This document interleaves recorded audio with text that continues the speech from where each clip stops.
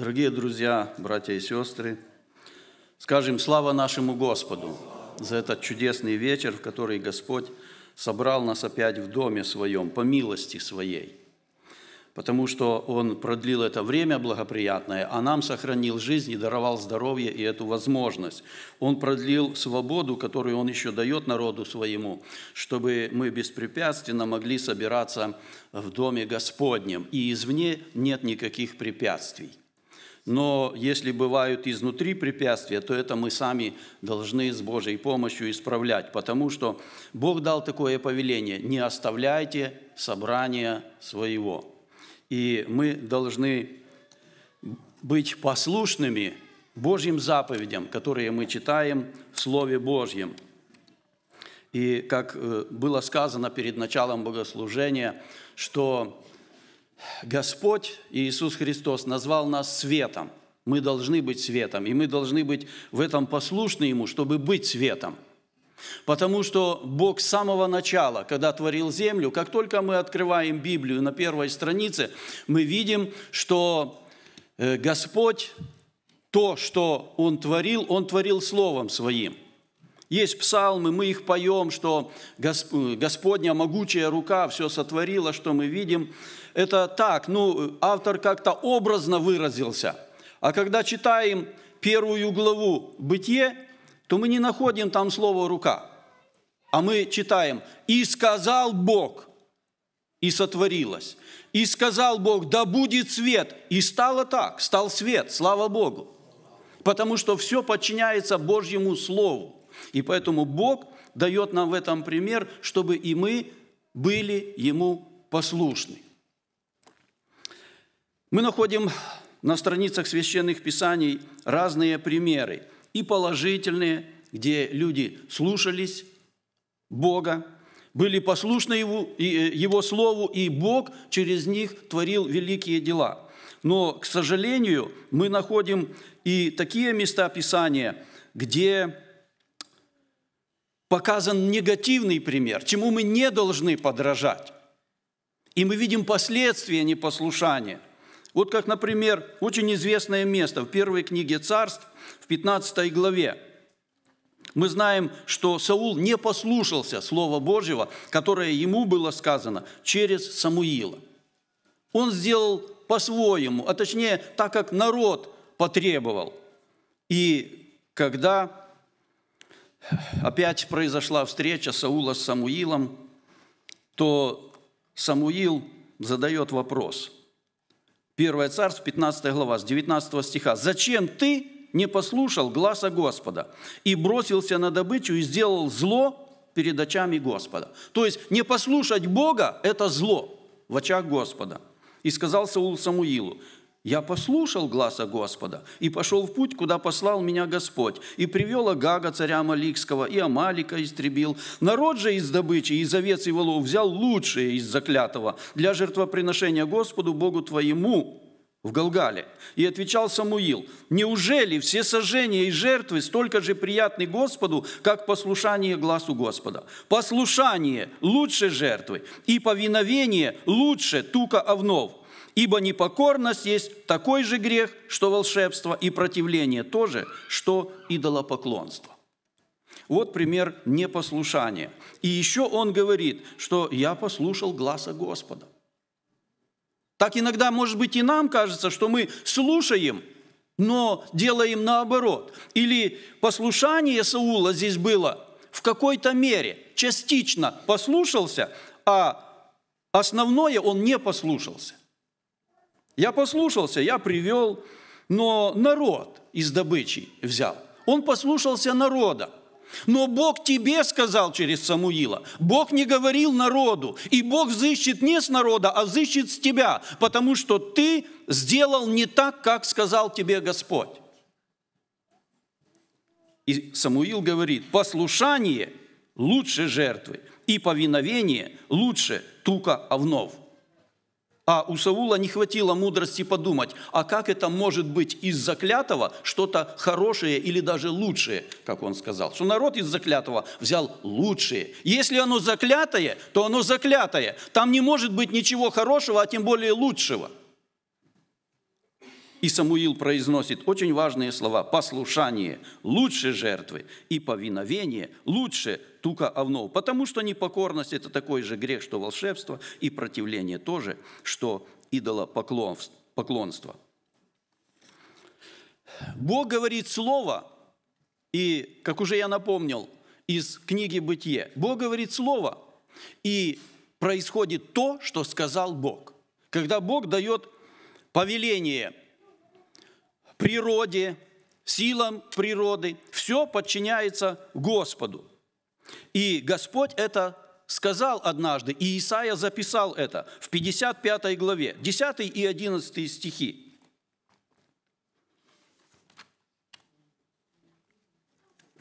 Исаия, 55 глава, 10 и 11 стихи. Как дождь и снег не сходит с неба и туда не возвращается, но напаяет землю и делает ее способную рождать и произвращать, чтобы она давала семя тому, кто сеет, и хлеб тому, кто ест. Так и слово мое, которое исходит из уст моих, оно не возвращается ко мне тщетным, но исполняет то, что мне угодно, и совершает то, для чего я послал его. Слава Господу! Что Слово Божье – оно не является тщетным и не возвращается к Богу, не исполнив то, для чего Он его послал.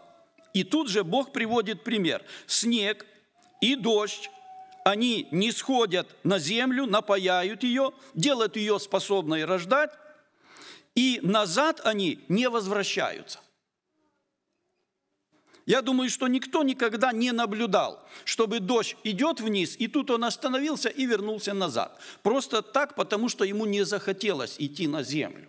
Если Бог повелит, то так будет. Но если Бог посылает дождь, то Он посылает, чтобы Он напаял землю. И снег то же самое. Почему? Потому что в Слове Божьем написано, что у Него, у Бога хранилища и дождя, и снега, и града. И Он посылает на землю, открывает окна небесные и посылает на землю туда, куда Он хочет, и столько, сколько Он хочет. И снег, и дождь, и град, они повинуются Богу. И это все пример для нас, как мы повинуемся нашему Господу, если мы называем Его Господом – Потому что Иуда был один из двенадцати учеников, но он ни разу не сказал Христу «Господь». Он говорил только «Учитель». Ну, учителя можно слушать, а можно не слушать, но если мы говорим, что Он есть наш Господь, то мы обязаны повиноваться нашему Господу. Мы видим, что Христос, когда был на земле, Он обращался и к ветру, Он разговаривал с ветром, он разговаривал с водой, с морем, и они повиновались ему. Марк описывает это в 4 главе. 4 глава, 30, с 37 по 39 стихи. Здесь написано так. «И поднялась великая буря, волны били в лодку, а в лодке был Христос и его ученики. Так что э, она, то есть лодка, уже наполнялась водою. А он спал на корме на возглавии. Его будут и говорят ему, «Учитель, неужели тебе нет нужды, что мы погибаем?»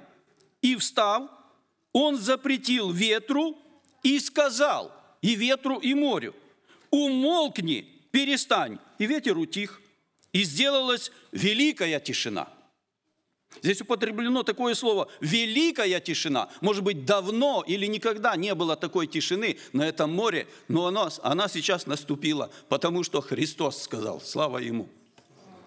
Потому что ученики пришли в изумление. Когда Христос начал разговаривать с ветром, с этой водой, с морем, может быть, они были в недоумении, но никто не успел сказать, Христос, ну что ты делаешь? Разве ветер может слушать человеческого голоса? Да, ихнего голоса не послушал бы ни ветер, ни море. Но голоса Иисуса Христа и ветер, и буря, и вода, и море послушались, и сделалась великая тишина. Это говорит нам о могуществе нашего Господа, которого и мы должны слушать. Да поможет нам в этом Господь. И Господь всегда смотрел и находил себе людей на земле, во всей истории человечества, которые были бы ему послушны. И если они были ему послушны, он через них делал великие чудеса и великие дела. Возьмем хотя бы такой пример. Судей, 6 глава, с 14 по 21 стих.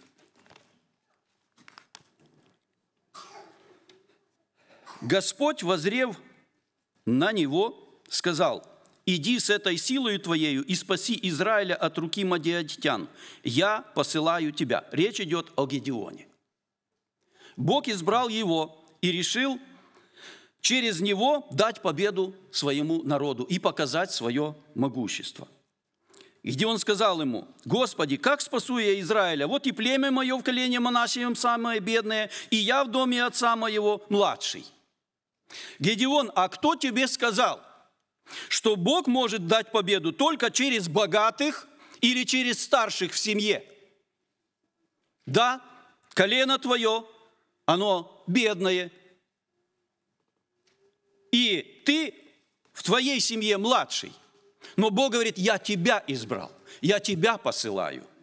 И сказал ему Господь, я буду с тобою, и ты поразишь мадиатян, как одного человека – Несмотря на то, что их там было великое множество. Бог говорит, ты их поразишь. Почему? Потому что я буду с тобою. С тобою, который самый меньший в семье, и ты из такого племени, что самое бедное.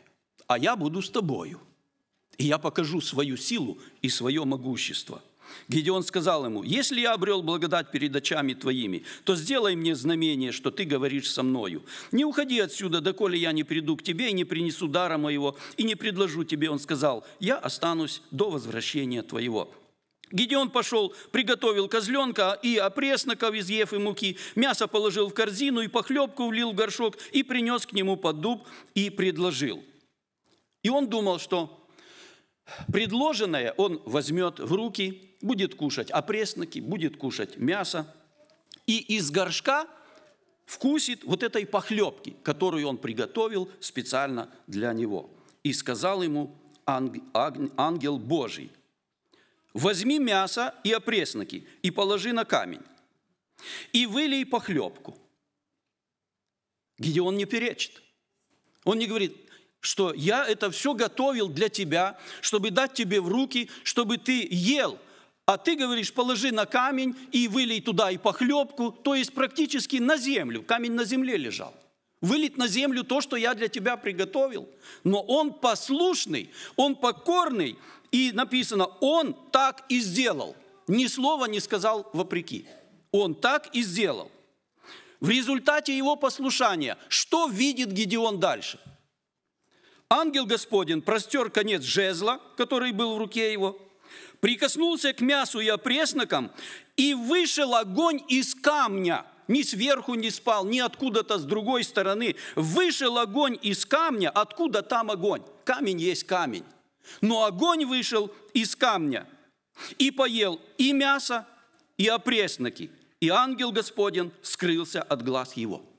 В результате своего послушания Гедеон увидел чудеса Божьи – он увидел великое дело. Если бы он в чем-то не послушался, ничего этого бы он не увидел. И он не получил бы впоследствии и ту победу, которую дал ему Господь.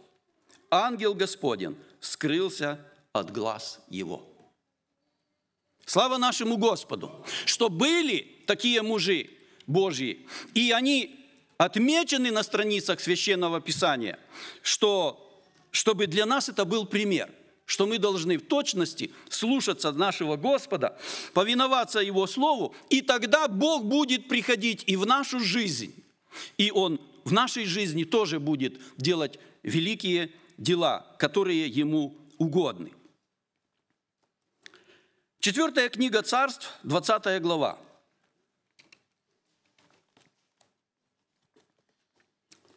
В 20 главе со 2 по 11 стих. Мы знаем, что речь идет здесь о Езекии, который, который был болен, и Бог послал пророка к нему, пророк сказал определение Божье, и дальше идет речь такая. «И отворотился Иезекия лицом своим к стене и молился Господу, говоря, «О Господи, вспомни, что я ходил перед лицом Твоим верно и с преданным Тебе сердцем и делал угодное в очах Твоих». И заплакал Иезекия сильно. Иезекия обращается не к человеку, не к пророку.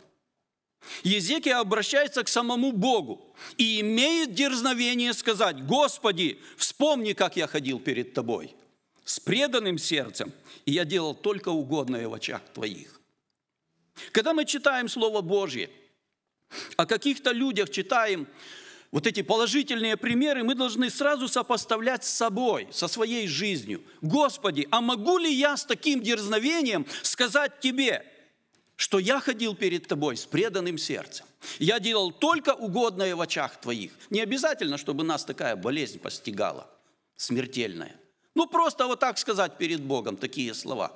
Езекия, мы видим, имел дерзновение сказать. И заплакал Езекия сильно. Исаия, который провозгласил ему, что он умрет, он сказал и ушел – но Исаия еще не вышел из города, написано дальше. И к нему было слово Господне, возвратись назад. Опять иди к Изекии, потому что Бог услышал его молитву, Бог увидел его слезы, и Бог знал, что Езекия говорит правду. Возвратись и скажи Езекии, владыке народа моего, так говорит Господь, Бог Давида, отца твоего, я услышал молитву твою и увидел слезы твои. Вот я исцелю тебя, и в третий день пойдешь в дом Господний. Только что ты получил слово, что ты умрешь, не выздоровеешь, потому что болезнь такая смертельная. Но я твою молитву услышал, слезы твои увидел, и на третий день ты будешь уже в Доме Божьем. Слава нашему Господу. Сколько у нас, дорогие друзья, больных? Как бы хотелось, чтобы они тоже услышали такое слово от Господа, что ты пойдешь в Дом Божий в воскресный день, ты уже будешь среди народа моего.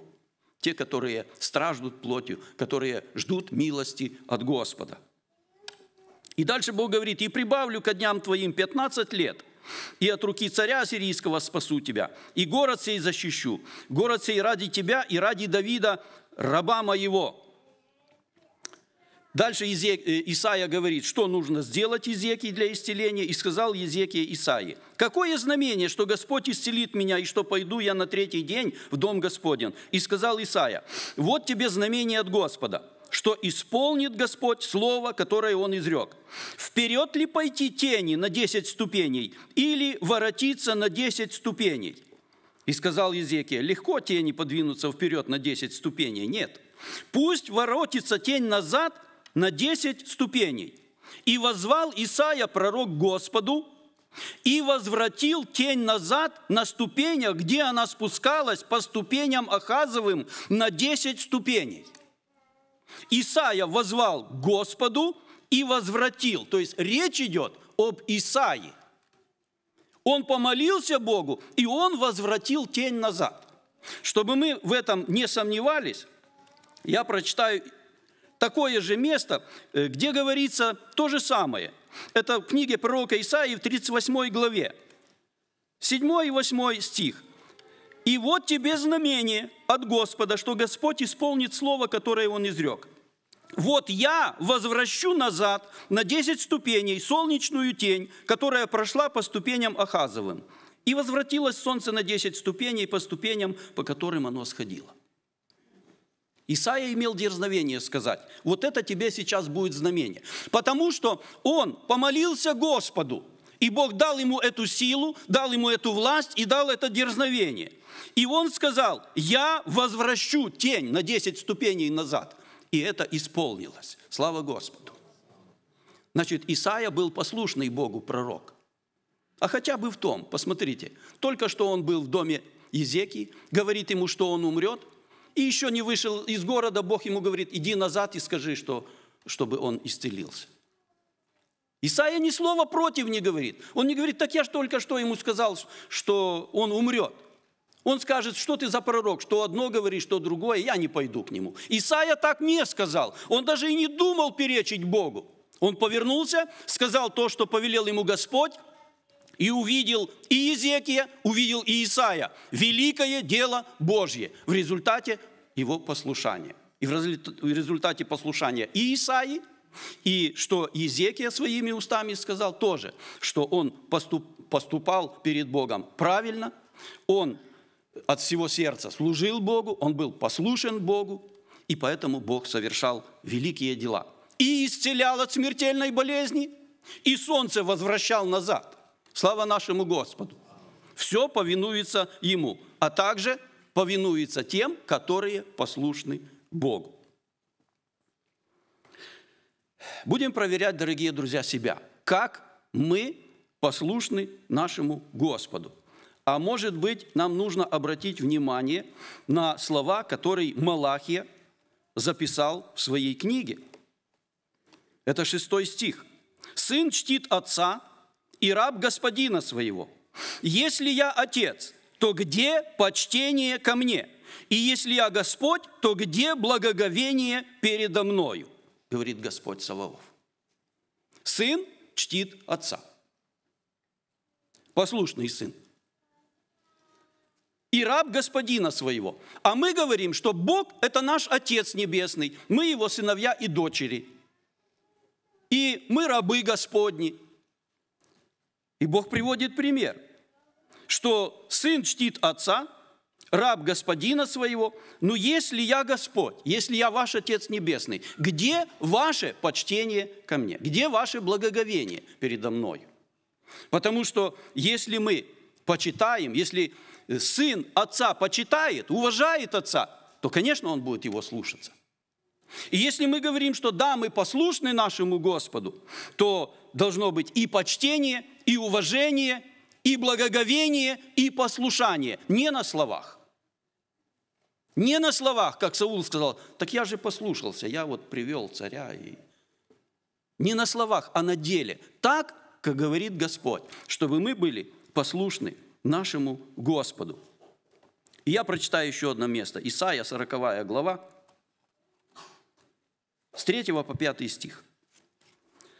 «Глаз вопиющего в пустыне, приготовьте путь Господу, прямыми сделайте в степи стези Богу нашему. Всякий дол да наполнится, и всякая гора и холм да понизится. Кривизны выпрямятся, и неровные пути сделаются гладкими. И явится слава Господня, и узрит всякая плоть спасение Божие, ибо уста Господни изрекли это. Это не человеческие слова.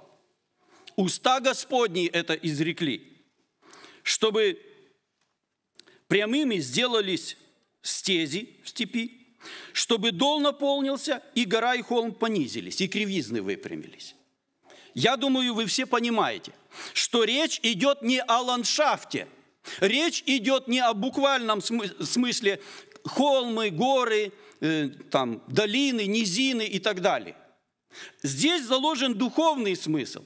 Речь идет о нас, людях, чтобы мы наши сердца исправили, чтобы высокое понизилось, там, где недостаток, чтобы оно, вып... где выпрямилось, чтобы пополнилось там, где недостаток. Это все речь идет о нас, о нашем духовном состоянии.